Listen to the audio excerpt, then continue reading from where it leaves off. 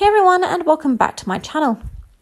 Choosing her words wisely, Shanna Moakler is steering clear of all things Travis Barker and Kourtney Kardashian on Celebrity Big Brother after previously voicing her displeasure with her ex husband.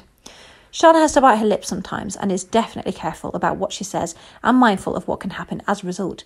A source exclusively tells us weekly about Moakler, 46, noting that she is aware of what she shouldn't say publicly about the Kardashian family.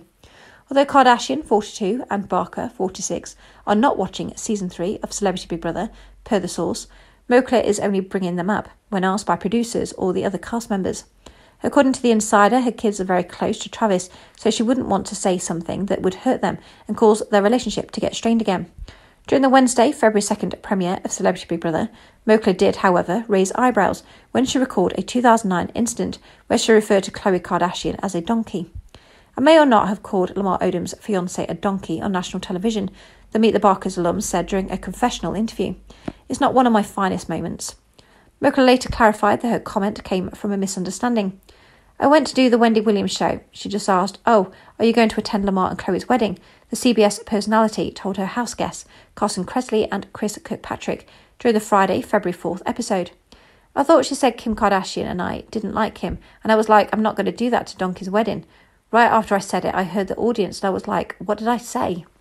According to the source, Moakler revisited her past with Khloe, 37, had no effect on the Good American co founder, adding, She doesn't take things personally, especially if it's said by someone she doesn't have a personal relationship or friendship with.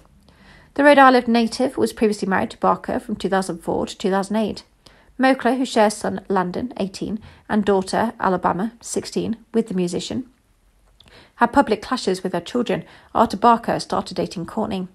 In May 2021, Alabama claimed via social media that the former pageant queen had never completely been in her life, while Landon stated that Moakler isn't in their lives like their father is. Moakler, for her part, explained that she wasn't really sure why her kids voiced their concerns online, telling us that same month, I'm their mother, I love them. It's hurtful and heartbreaking to have your kids say that that when clearly that's false. It's a false claim. The former Playboy model, who was in a relationship with Matthew Rondeau, later confirmed that there was still distance between her and her children. I'm just trying to give everybody some space so we can heal and come back together again, she shared with us one month later. I don't really know what's going to happen in the future. It's been very difficult and emotional and sad. In November 2021, Moakler posted a sweet Instagram pic with her son, writing, My love. The reunion came one month after Kourtney and Barker announced their engagement.